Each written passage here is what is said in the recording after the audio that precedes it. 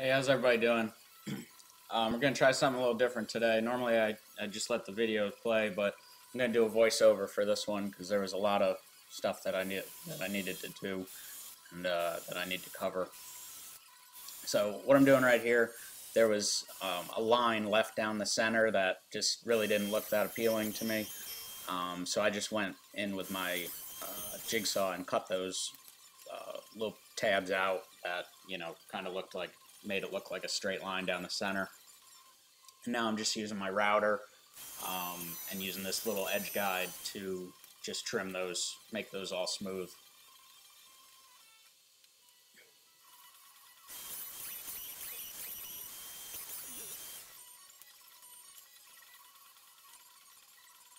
That line was just something that had been bothering me for a while. Every time I would look at the table, because um, I had it sitting in my living room, I'd see that line and it just, you know, really made everything look unnatural, so I wanted to remove it.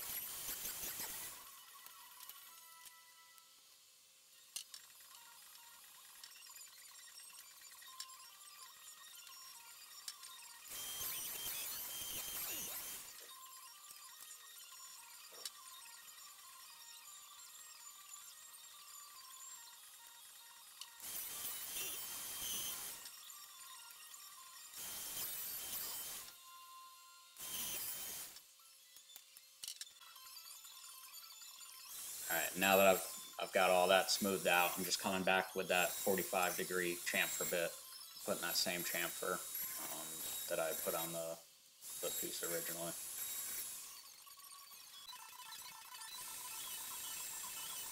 Alright, here I'm putting a 45 degree chamfer all around the edge. Um, uh, the, the top edge got this, and then the outside of all the legs got this.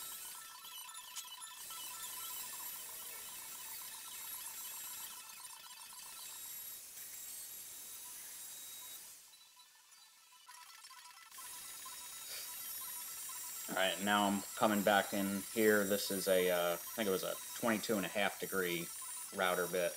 And I'm putting a chamfer on all the inside faces of the legs.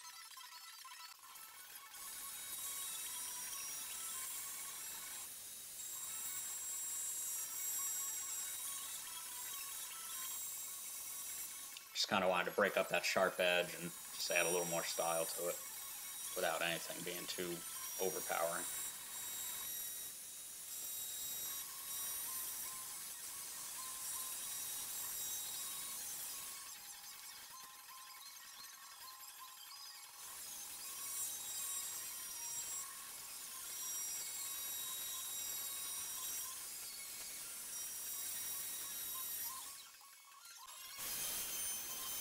And I'm just putting a 45 degree chamfer on the bottom of the feet just to keep those edges from chipping out.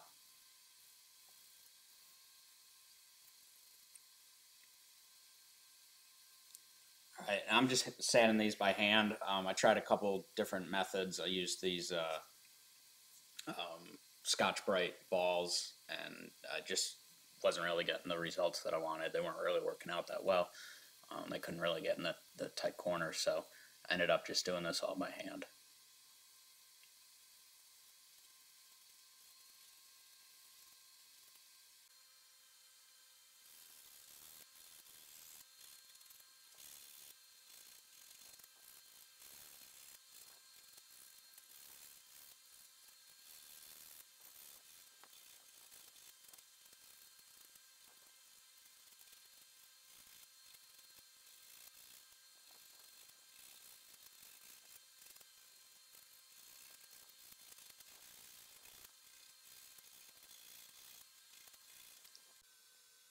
So if you've been following this build, um, you're probably wondering why I'm pouring epoxy on it because I swore up and down the whole time that I wasn't going to do that.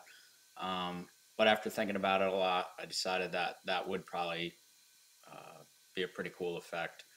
So here I'm just getting the bottom ready to attach a piece of melamine. And this was where I made my first mistake. Um, I didn't cover the melamine with Tyvek tape and uh, you'll see later why that was such a big problem.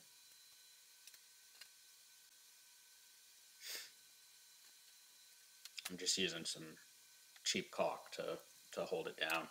I'm just putting a bunch of clamps on it to weigh everything down and hold it while it dries.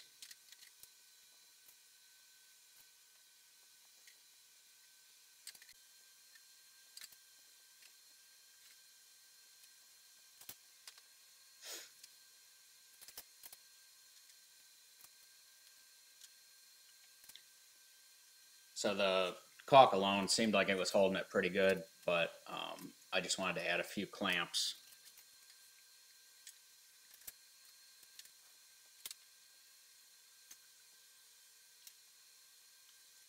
In this shot here, you can see my outfeed table um, that I just folded up. Um, I don't have a ton of workspace, so I've been working on this one. I need to still cut the miter slots into it.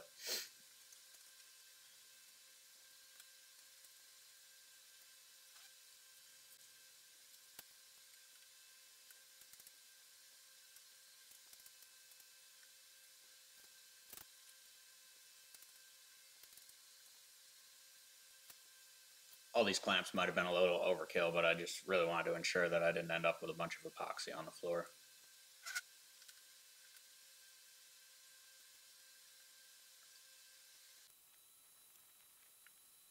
All right, so now I start filling, and uh, this was my second mistake here. Um, it was super hot in my garage. If you see my shirt, you'll see what I'm talking about.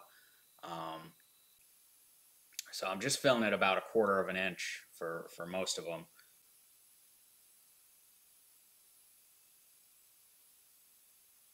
And I wanted this to be pretty translucent. So my idea was originally to come through with just clear epoxy, um, fill it up about halfway, and then start doing my different shades of blue.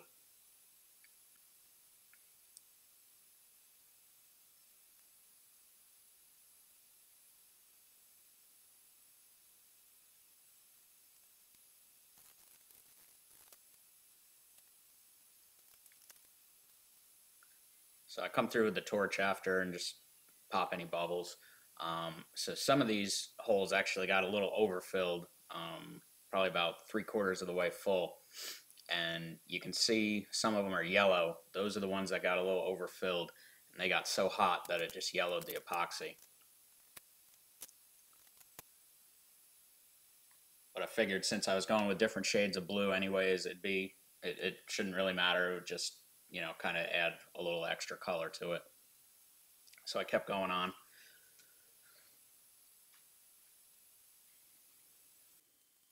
All right, and again, it was super hot, um, so you can kind of see some bubbles here.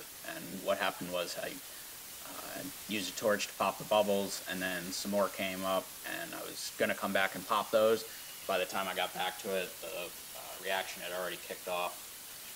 So all I'm doing is just sm smoothing everything out, um, pretty much sanding everything down so it's at least level with the top surface of the wood. And then I'm going to come back in with a, a multi-tool and a little sander and just gouge out some of the higher areas um, and some of the areas around the edges. That's what I'm doing right here.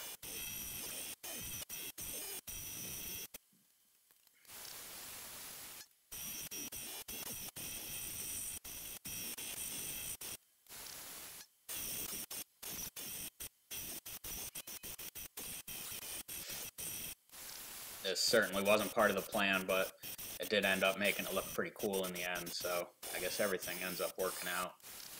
But, uh, you know, this certainly wasn't the right way to do everything. And, uh,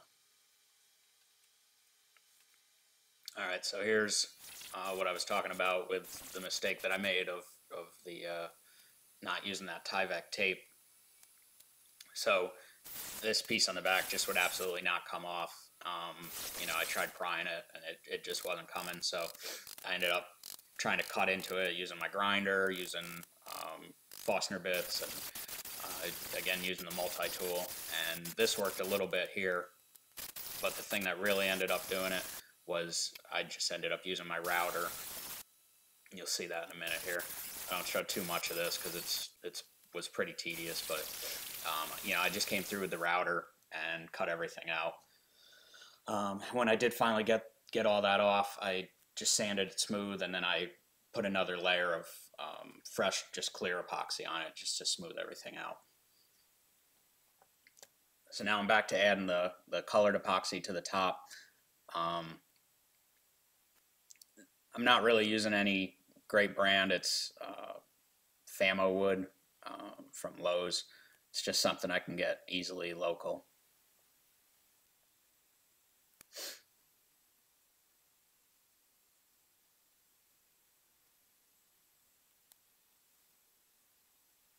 So again, every time I, I you know put some down, I come back through with the uh, torch and just pop the bubbles.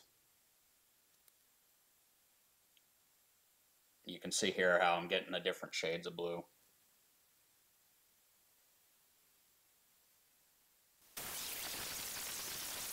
Alright, so now I come through with my belt sander and just level this whole thing down. Um, I'm bringing everything down to level with the uh, top surface of the wood.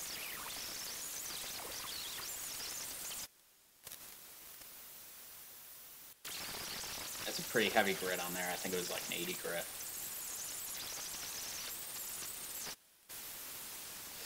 Now I'm coming back through my sander.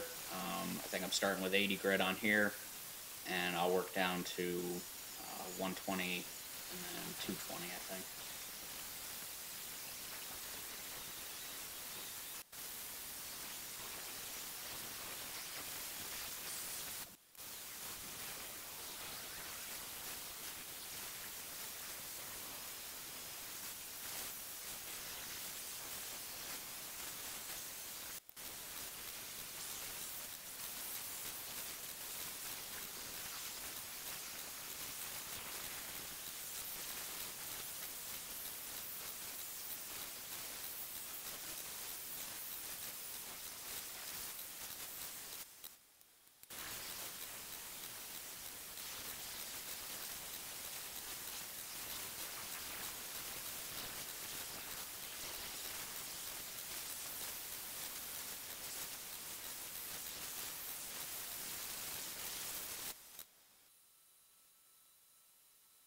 Here I'm just coming through with this mixture that I, I make of uh, linseed oil and uh, um, oil-based polyurethane, and, and I'm just getting it on there just to stain the wood um, and seal that, and um, then I just come through and wipe it right off, and uh, it comes right off the epoxy.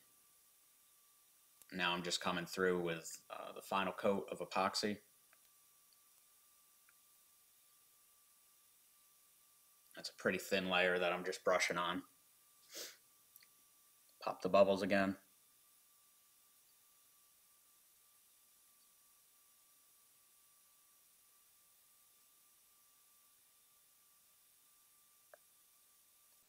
And that was uh, the last time we poured epoxy on this.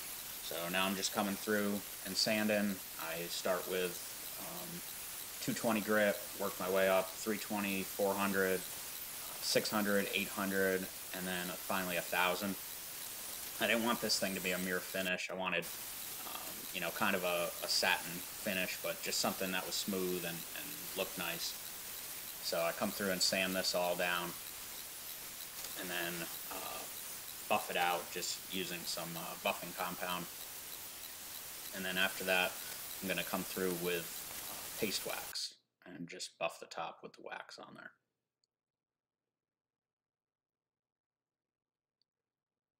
That's what I'm doing right here. And that gave me exactly the finish that I wanted.